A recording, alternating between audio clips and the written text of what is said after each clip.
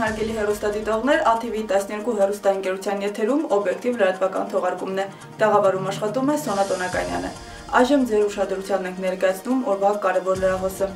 Նախորդին մեր երկրում բացահայտվել են նոր կորոնավիրուսով վարակման 4743 դեպք։ Ինտենսիվ թեստավորման վերջին 24 ժամում անցկացվել է 46389 թեստ, այստեղից 29181-ը հակագենի արագ թեստով եւ 17208-ը PCR թեստով։ Դրականության օրական ցուցանիշը 10.22%-ական տոկոս է, վերջին 14 օրվա ցուցանիշը 10.86%-ական տոկոս, իսկ վերջին 7 օրվա ցուցանիշը 10.98%-ական տոկոս է կազմում։ Այս պահի դրությամբ Վրաստանում հաստատված է նոր կորոնավարակի 506040 դեպք։ Ապակինվել է 3393 քաղաքացի եւ նրանց ընդհանուր թիվը կազմում է 440370։ Վերջին 24 ժամում կորոնավիրուսից մահացել է 59 մարդ։ Համավարակի մեկնարկից մինչ օրս կորոնավիրուսի զոհերի թիվը հասել է 6649-ի։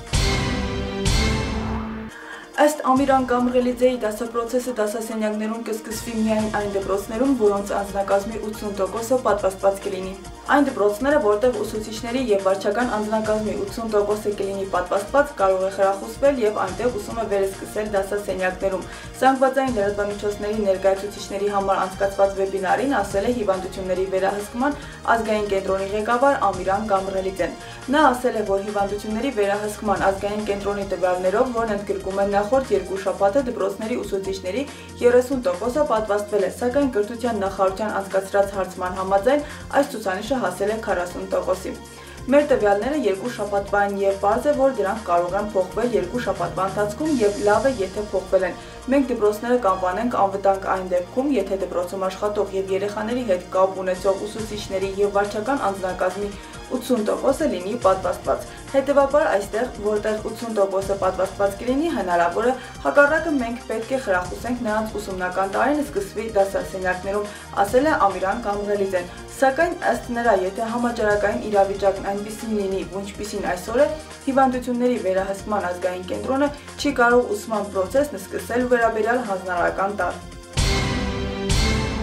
Վրաստանում արդարադատության տները եւս միանում են պատվաստման գործընթացին, այստեղ եւս կարող են գրանցվել պատվաստման համար։ Քաղաքացիներն այսօրվանից COVID-19-ի դեմ պատվաստման համար կկարողանան գրանցվել արդարադատության տներում եւ հասարակական կենտրոններում։ Արդարադատության նախարարի տեղակալ Թամար Տղեշելաշվիլին եւ առողջապահության փոխնախարար Թամար Գաբունյան Թբիլիսի արդարադատության տանը ծանոթացել են նոր ծառայության ներդրման գործընթացին։ Ըստ նրանց պատվաստումների համար գրանցվել ցանկացողները պետք է այցելեն արտարադատության տուն եւ համայնքային կենտրոններ կամ զանգահարեն 2 405 405 հեռախոսը համարին։ Ծառայությունը հասանելի է առանց արտարադատության պալատ այցելության նախնական ամրագրման։ Հաճախորդները պատվաստման համար կկարողանան գրանցել նաեւ մտերիմներին եւ ընտանիքի անդամներին։ Ծառայությունը հասանելի է երկուշաբթիից ուրբաթ օրերին առավոտյան ժամը 9-ից 18:00 ընկած ժամանակահատվածում արտարադատության տան եւ հանրային կենտրոնի բոլոր մասնաճյուղերում, իսկ շաբաթ եւ կիրակի օրերին պատվաստման համար գրանցվել ցանկացողներին կսպասարկեն Թբիլիսի եւ Բաթումի արդարադատության տները առավոտյան ժամը 10-ից մինչև 17:00 ընկած ժամանակահատվածում։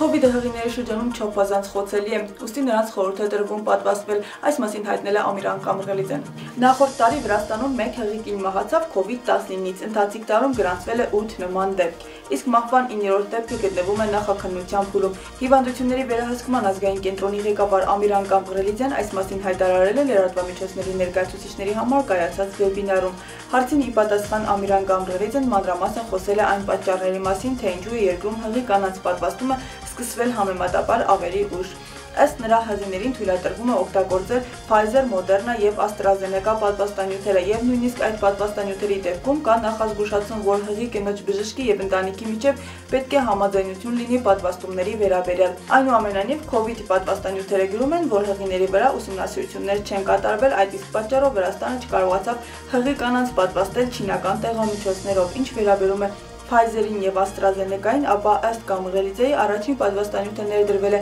Վրաստանում հուլիսի կեսերին, իսկ AstraZeneca-ի օգտագործման ցածր տարիքային շեմը 45 տարին է, ինչը վերարտադրողական տարիքի վերին սահմանն է։ Սակայն ըստ հիվանդությունների վերահսկման կենտրոնի ղեկավարի մեծ զգուշություն կա հեղիների եւ գինեկոլոգների կողմից։ Նրա խոսքով ցավոք շատ բժիշկներ խորհուրդ չեն տալիս եւ չեն խորհուրդ տալիս հեղիներին պատվաստումը։ Թղության համար մեծ վտանգ է ներկայացնում ցանկացած վարակիչ հիվանդություն, այդ թվում COVID-ը։ Այդ պատճառով նրանք պատվաստում են գրիպի դեմ։ Ես ուզում եմ հղիներին կոչ անել, որ նրանց պատվաստումն անհրաժեշտ է, ասել է Ամիրան Կամբղելիձեն։ Հայրենիք են վերադառնում Վրաստանի 16 քաղաքացիներ, ովքեր գտնվում են Աֆղանստանում։ Այս մասին Facebook սոցիալական ցանցում գրել է Վրաստանի վարչապետ Իրակլի Ղարիբաշվիլին։ Նրա խոսքով Վրաստանի քաղաքացիներն ապահով եւ արդեն օտանավում են։ Վրաստանի 16 քաղաքացիներ, ովքեր գտնվում են Աֆղանստանում, վերադառնում են հայրենիք, մեր քաղաքացիներն ապահով են, նրանք արդեն օտանավում են եւ շուտով կլինեն Վրաստանում, գրել է վարչապետ Իրակլի Ղարիբաշվիլին։ Վաղը տեղումների հավանականությունը 84% է։ Ցերեկային ժամերին օդի ջերմաստիճանը կկազմի 24 աստիճան, իսկ երեկոյան 12 աստիճան ջերմություն։ Օբյեկտիվի լրատվության համար այսօր այսքանն էինք նախատեսել խաղաղ եւ առողջ մնացեք կհանդիպենք։